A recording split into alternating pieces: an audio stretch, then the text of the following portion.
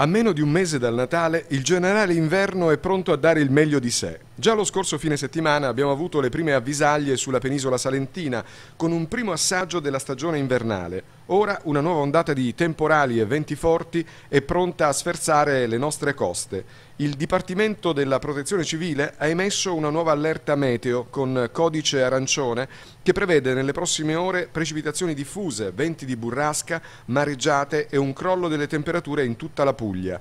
Possibili grandinate. Grande attenzione per il rischio idrogeologico, in particolare nelle province di Lecce, Brindisi e Taranto. Le previsioni degli esperti non sono rassicuranti. Violenti nubifragi potranno interessare diverse zone della nostra regione con forti venti ed elevata attività elettrica.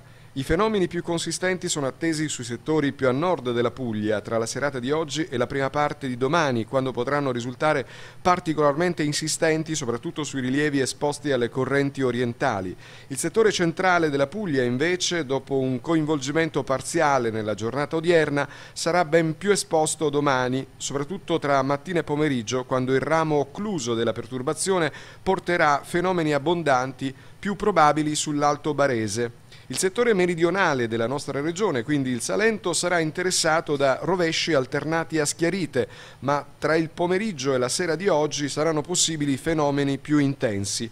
L'ondata di maltempo continuerà fino a sabato con le ultime piogge residue. Domenica migliora ovunque, le temperature resteranno però piuttosto basse, ma in progressivo aumento, mentre il vento sarà moderato di maestrale.